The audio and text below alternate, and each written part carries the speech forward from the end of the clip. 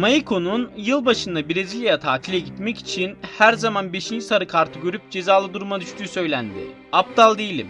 Siena maçından önce Maikon'a sarı kart görürse tatile gitmesine izin vermeyeceğimi söyledim. Bana gol atarsam tatile gidebilir miyim diye sordu. İki gol atarsan tatile gidebilirsin dedim. O maçta iki gol attı, formasını da çıkarıp sarı kart cezalısı oldu ve tatile gitti.